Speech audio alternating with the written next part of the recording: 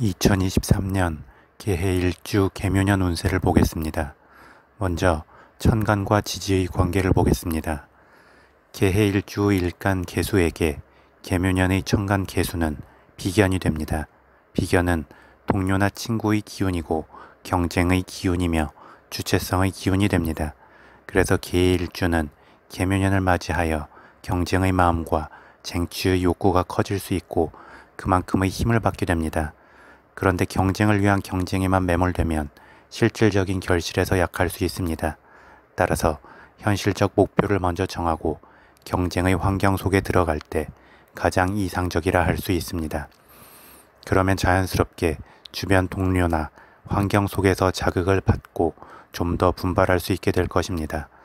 더불어 경쟁의 기운이 강해진다는 것은 한편으로 너무 고립된 상태로 홀로 일하는 듯이 있으면 부정적일 수도 있음을 의미하기에 본인 스스로 주변의 관계 속에서 협동하고 경쟁하며 자극받을 수 있도록 하면 좋습니다. 다음 개해 일주의 일간 개수에게 개묘년의 지지인 묘목은 식신이 됩니다. 식신은 본인의 전문성을 잘 갈고 닦아서 외부의 인정을 받는 기운이 됩니다. 그만큼 일에 대한 집중력이나 하고자 하는 것에 대한 집중력이 커질 수 있습니다. 그런데 너무 과몰입이 되면 일방적으로만 흐를 수 있고 주변 사람이나 기존의 시스템과 충돌할 수 있습니다.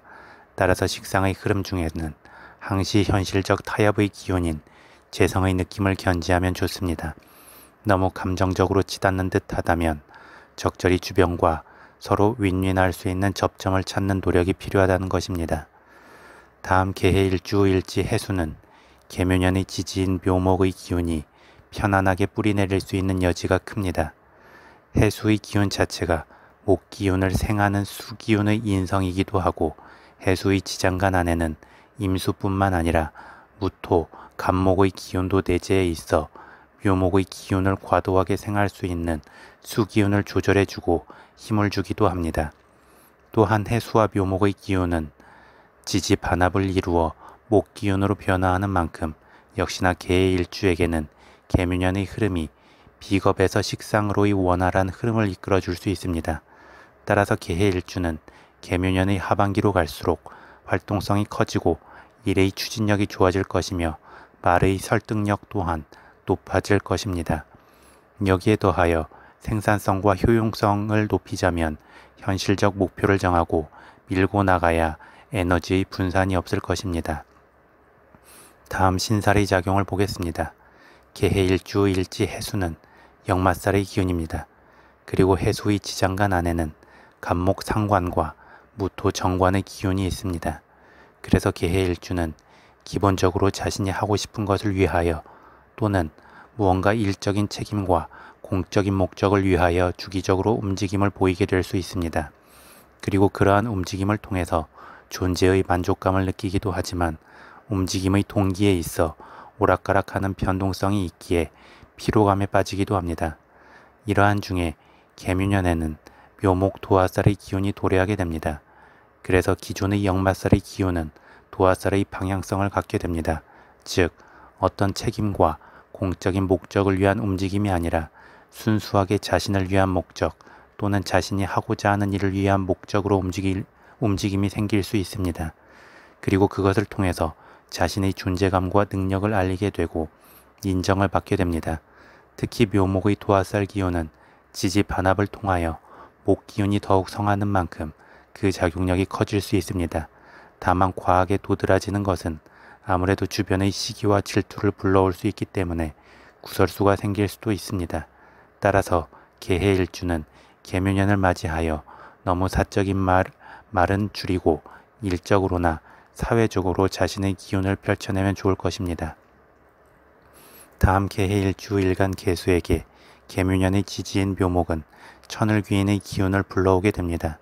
천을귀인의 기운은 고결하고 순수하며 합리적이고 균형 잡힌 기운이기 때문에 이러한 천을귀인의 의미를 이해하고 어떤 극단성에 치우치기보다는 적절히 관용과 타협의 미덕을 행한다면 훨씬 더 긍정적일 수 있습니다. 또한 본인 스스로가 이렇게 중정이 잘 갖추어진 마음가짐과 행동을 한다면 천을 귀인의 귀인이라는 의미 그대로 좋은 외부의 기운을 끌어올 수 있고 도움을 받을 수 있게 될 것입니다. 특히 개의 일주는 하반기로 갈수록 기운의 흐름이 빨라지고 커질 수 있어서 마치 가속 페달을 밟는 듯한 느낌이 될 수 있는데 천을 귀인의 기운이 이러한 부분에 대해서 적절히 브레이크를 잡아주면서 균형을 유지해 줄 것입니다. 다음 12운 성론의 관점에서 보겠습니다. 개해 일주 일간 개수에게 개묘년의 지지인 묘목은 장생이 됩니다. 장생은 갓 세상에 태어난 아기와 같은 기운이 됩니다. 모든 것이 새롭고 궁금하고 관심과 행동이 가게 됩니다. 더불어 생동하는 기운이 있기 때문에 주변에서 사랑을 받게 됩니다. 특히 개해 일주 일간 개수에게 묘목은 식상의 기운이자 도화살의 기운이며 땅을 뚫고 세상 밖으로 성장하는 식물의 기운이 되기에 장생의 흐름과 가장 어울림이 좋다고 할 수 있습니다.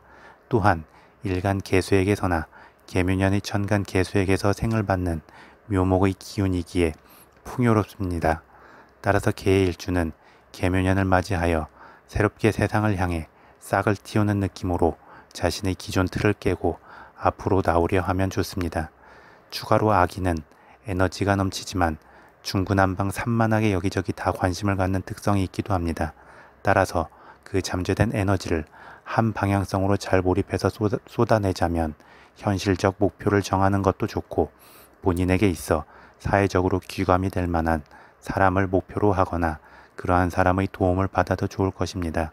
특히 개의 일주는 일주 자체적으로 제왕의 기운이 되는데 이 강력한 제왕의 기운이 장생의 어린아기를 맞이하는 것인 만큼 충분히 서로의 기운을 조화롭고 긍정적으로 승화시킬 수 있을 것입니다.